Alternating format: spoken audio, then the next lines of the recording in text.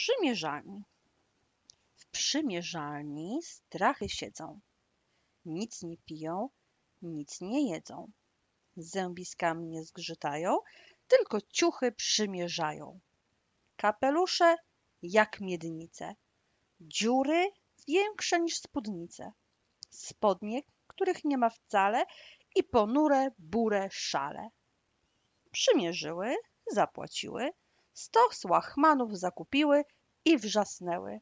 Do widzenia, mamy ciuchy do straszenia.